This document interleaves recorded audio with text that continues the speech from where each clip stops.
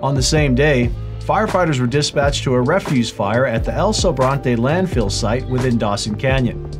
The first arriving engine reported a 400 square foot spot fire in the center of the 5 acre plot. Due to the wind and lack of water supply, the fire spread through the entire plot. With no threat to any infrastructure or residential property, Western Waste Management elected to cap the pile with clean fill dirt and pull the pile apart piece by piece in a controlled fashion to ensure the fire was suppressed. Fire department resources remained on scene for standby throughout the capping process.